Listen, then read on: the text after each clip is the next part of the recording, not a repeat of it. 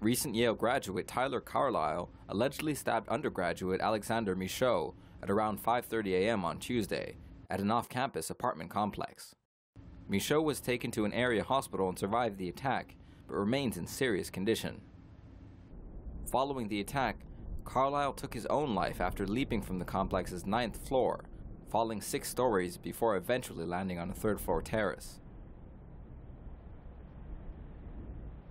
Details of the incident, including what sparked the stabbing, remain scarce, but police are interviewing a witness.